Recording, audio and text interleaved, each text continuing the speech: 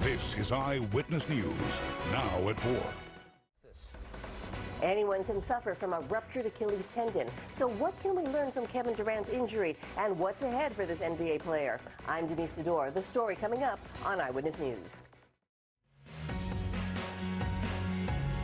Well, all eyes are on the NBA Finals as the Warriors try to stay alive without the help of Kevin Durant. An Achilles tendon rupture means that he will be out all of next season. And this type of tear can happen to any of us. Denise Dador spoke to experts about what we can learn from this elite athlete's injury.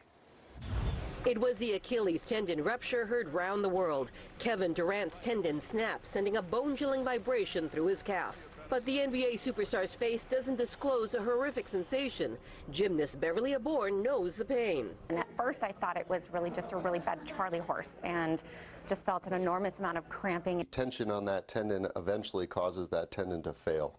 Hoag Orthopedic Institute's Dr. Robert Grumet says these types of injuries can occur suddenly in people as they age. Yeah, Achilles tendon ruptures can occur in just about anybody. People can do it doing playing sports, jumping sports, explosive moves. Durant, who had been sidelined since May 8th, had complained of calf pain. That's typically treated conservatively, rest, activity modification, anti-inflammatories. Was it a risk to go out on the court? Yes, but it was one Durant was willing to take. On Instagram, he told his fans, I wanted to be out there that night because that's what I do.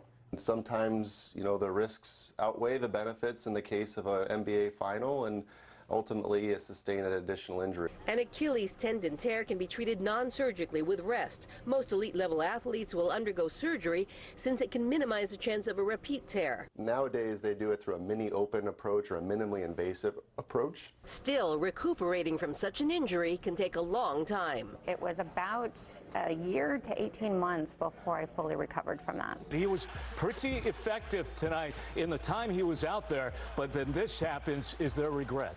Most of us don't have an NBA championship to color our decision on whether to play through the pain. The most important advice, always listen to your body and protect yourself. We as athletes want to get back into the game. We've got to do it at a certain pace that's right for us and right for the injury too. In Orange, Denise Dador, ABC 7 Eyewitness News.